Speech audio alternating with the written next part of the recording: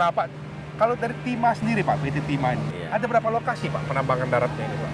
Jadi tambang darat sendiri mempunyai beberapa tambang, antara tambang perusahaan, tambang besar mitra juga ada, Ya. T- tambang semprot, tambang non konvensional. Jadi kalau dilihat becek-becekan kayak gini bukan banjir bukan Pak ya? Bukan. Wah, ini air timah Seng- ini. Sengaja Pak. Untuk palping kan kan. Jadi mereka membentuk ya sekitar 110 atau 11 lah. Kalau kekentalan bisa buntu pipanya, kalau keenceran rugi. Pompa air. Pompa air. Kan tidak selalu rata kayak batu bara gitu Pak.